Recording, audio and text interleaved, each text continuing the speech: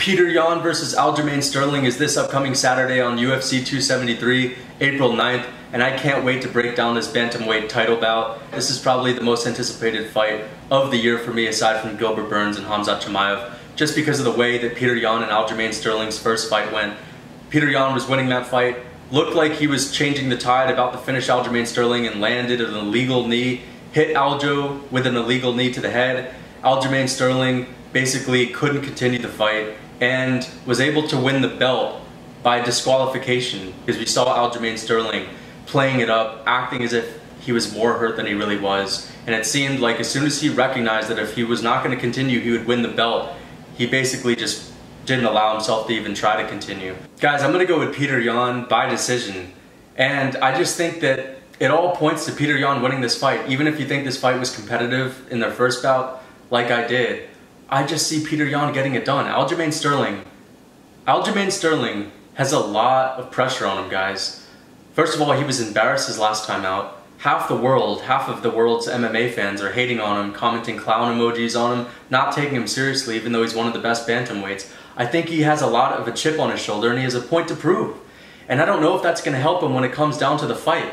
I think Petr Yan is the type of guy who really doesn't really focus on anything external, is not really focusing on what fans are saying, isn't really reading too much into thinking, oh, everyone's saying I'm going to destroy this guy.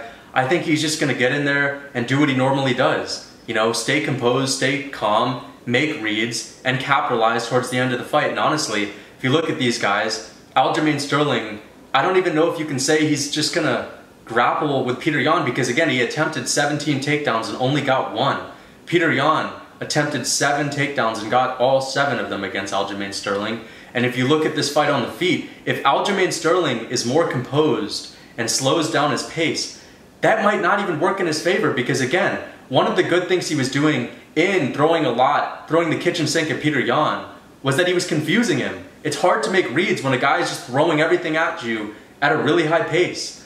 But it was working for the first couple rounds. Again, he gassed out. If he's more reserved and he's standing on the feet with Petr Yan, Petr Yan's one of the best boxers in the UFC, arguably the best boxer in the UFC, some of the fastest hands we've ever seen in the UFC, and he has knockout power. He can put you on your ass, like he did to Aljamain Sterling in the first fight, and he actually knocked him down multiple times. So I don't know if this is going to be a good idea for Aljamain Sterling to be more reserved. You know, on one hand, if he is more reserved, he's not going to gas out, but he's going to leave himself in more danger, and his takedowns aren't going to be as in disguise as they would be if he's throwing 10 strikes before them. You know? But on the other hand, if he's throwing everything out there, he's going to gas. So I don't know.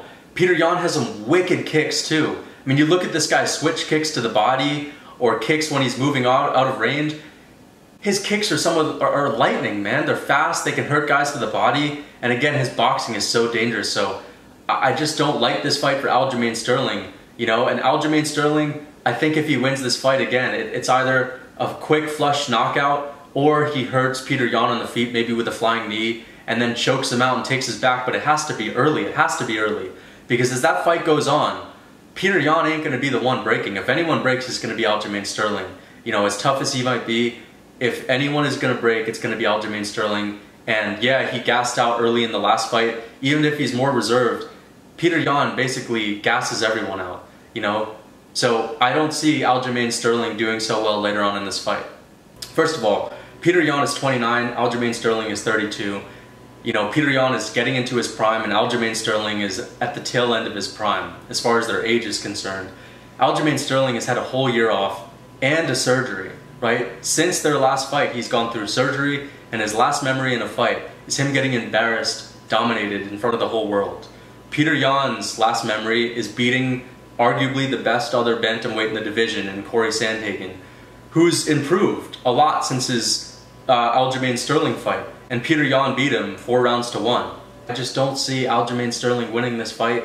I don't think Petr Yan's just gonna knock him out in one round. I think Aljamain Sterling's gonna be competitive he is dangerous, and you know what? I would say if these guys fight 10 times, Aljamain Sterling wins 2 or 3 out of 10. You know, so if Aljamain Sterling wins this fight, I will be shocked, but it's not going to be something that I just never expected. I could see Aljamain Sterling getting an upset. and he is a decent underdog. And that's just because everyone's saying he's going to get destroyed. But if you look at their first fight, look at the first couple rounds, aside from Petr Yan taking him down and dropping him in the first round, those were competitive rounds. And if Aljamain Sterling is more reserved, I think he can have a better chance. But again, it can also hurt him because if he is more reserved, it gives Petr Yan more safety, more time to make reads. And I think at the end of the fight, you're going to see Aljamain Sterling in the fifth round looking gassed as opposed to looking gassed in the third round. And either way, Petr Yan's going to win the last three rounds. So if this fight passes the second round, Petr Yan 100% wins. I could see Petr Yan getting a late finish, but I don't think it's it's that possible. And if Aljamain Sterling wins this fight, it has to be in the first round and a half. He either gets some flying knee hurting Petr Yan and then choking him while he's hurt, or gets a flush knockout. Other than that, I don't see it happening. You know, Petr Yan does get hit, but again, he's the younger guy. I think he's he's got a better shot to win this. And you know what? Aljamain Sterling seems confident going into this rematch. But again, his last memory in a fight is him losing to this guy, getting destroyed, getting dominated, and embarrassed. And everyone's been hating on him for a whole year. He has a lot of pressure on him. You know, I don't think Petr Yan's the type of guy to, to let this pressure get to him. You know, a lot of people are saying Petr Yan's going to destroy him. That could put pressure on you to, to feel like you need to really make a statement. But I don't think Petr Yan's going to let it get to him. I think he's a stone cold, fucking ice cold guy. You know? And I think when it comes down to the night of the fight, Aljamain Sterling is going to be trying to prove a point, and Petr Yan, on the other hand, is just going to be trying to get that win. And I think Petr Yan is going to make it look not easy, but I think he's going to win decisively, four rounds to one. That is my final prediction. So let me know who you guys think is going to win this fight.